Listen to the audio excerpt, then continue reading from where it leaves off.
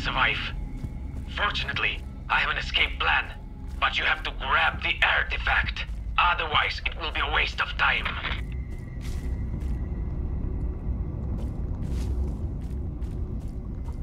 You're not much good to us when injured. Can you see a first aid kit anywhere? If so, use it.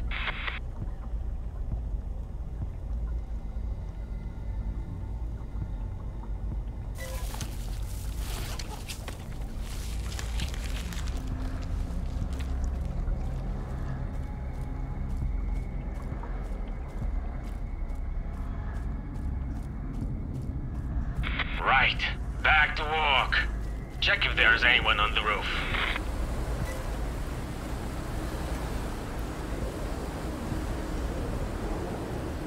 I see the zone bastard. Damn fanatics. Kill them. Should be as easy as fight from your position.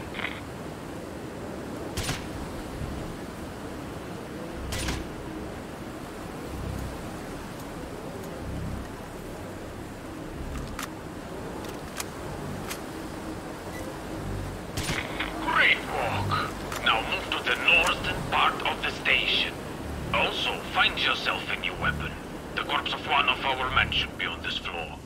I suggest searching it.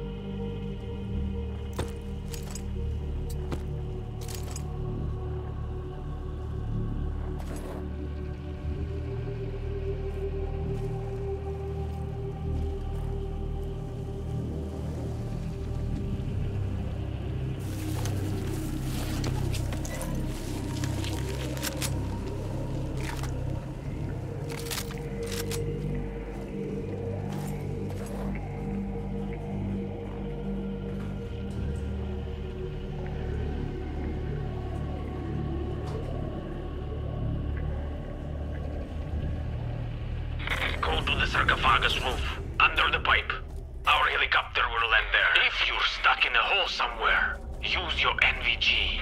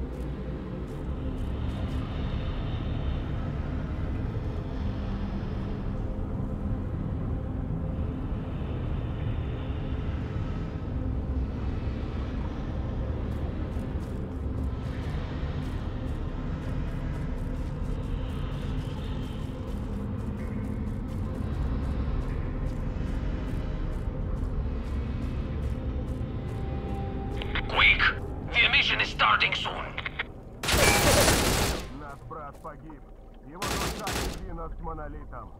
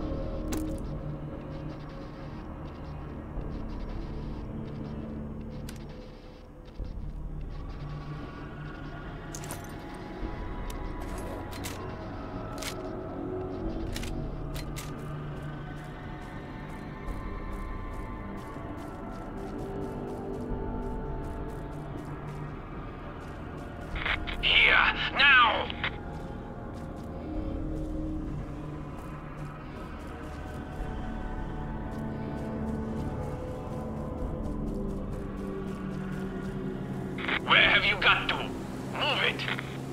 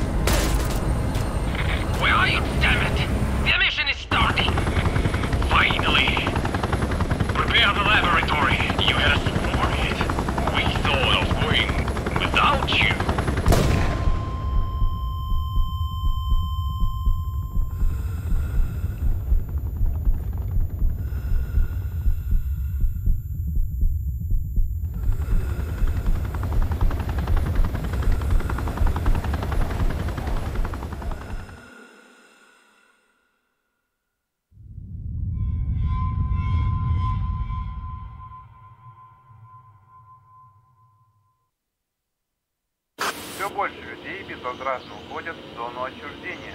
Очередной пациент со смертельным диагнозом был вылечен при помощи так называемого артефакта. Раньше на Земле существовало множество белых пятен, и человечество всегда тяготело к их исследованию. Время шло, Постепенно все белые пятна были изучены. Казалось, что на планете не осталось земель, неизведанных человеком. Но вместо белых пятен появилось одно черное пятно. Таинственное, дикое, не поддающееся объяснению ученых зона.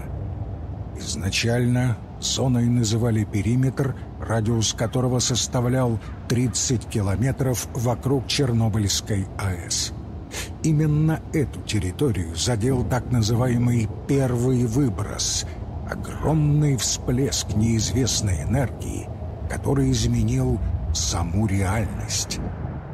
Первыми людьми, ступившими на земли зоны, стали отнюдь не ученые или военные. Первыми были обычные бродяги, искатели приключений. Они с уважением относились к зоне, не используя в ней оружие и аккуратно исследуя каждый ее закуток.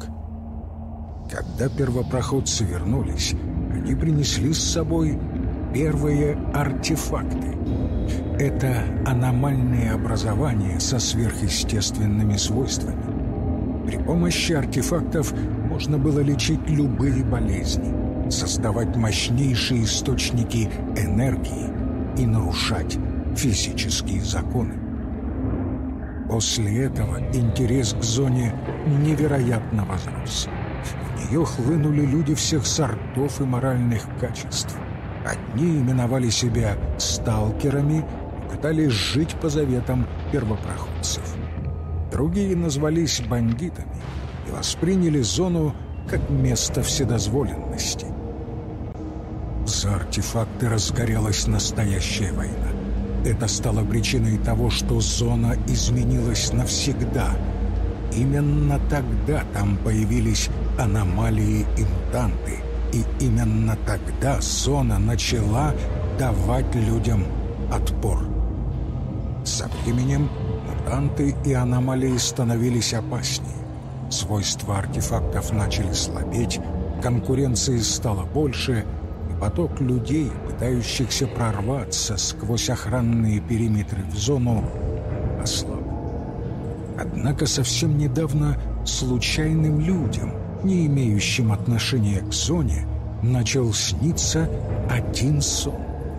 Во сне менялись некоторые обстоятельства, но неизменным оставался большой яркий голубой шар, который видел каждый из них. После этого сна все люди, которым он снился, устремились в зону.